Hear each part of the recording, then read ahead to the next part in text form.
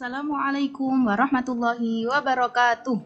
Berjumpa lagi bersama Ustazah Rizky. Hari ini Ustazah akan menyampaikan materi SPDP. Mari disimak sama-sama.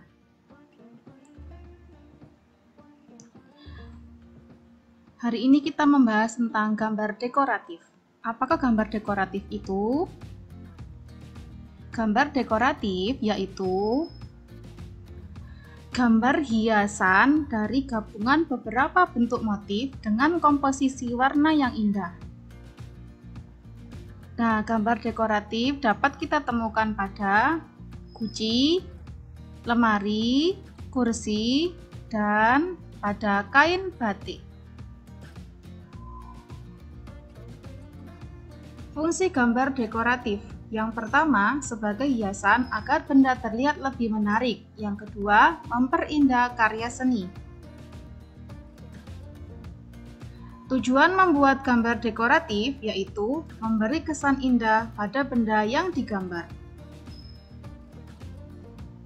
Unsur-unsur dari gambar dekoratif. Yang pertama adalah garis. Contohnya, ada garis mendatar, garis tegak, garis miring, garis lengkung, garis persilang, garis sejajar, garis zigzag, garis spiral, dan garis gelombang seperti gambar berikut ini. Yang kedua adalah bentuk. Contoh dari bentuk ada persegi, segitiga, persegi panjang, lingkaran, dan belah ketupat. Yang ketiga adalah warna. Warna yang pertama yaitu warna primer. Yang kedua adalah sekunder. Warna primer terdiri dari merah, kuning, dan biru. Untuk warna sekunder yaitu terdiri dari percampuran warna primer. Dari merah dicampur kuning menghasilkan warna orange. Kuning dan biru dicampurkan menjadikan warna hijau dan biru dicampur dengan warna merah menjadi warna ungu.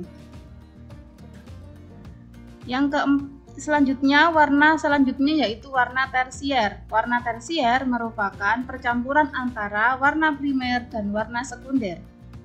Contohnya yaitu seperti gambar berikut ini. Warna ungu dicampur dengan merah menghasilkan merah ungu. Merah dicampur orange menghasilkan orange kemerahan dan lain sebagainya. Kemudian ada bentuk gambar dekoratif. Seperti apa bentuk gambar dekoratif? Ada bentuk motif hewan.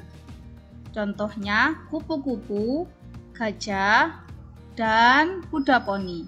Mereka bertiga atau ketiga gambar ini memiliki motif yaitu ada yang berupa bunga atau yang berupa gambar geometris.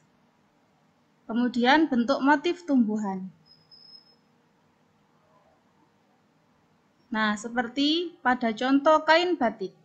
Motifnya adalah bunga-bunga.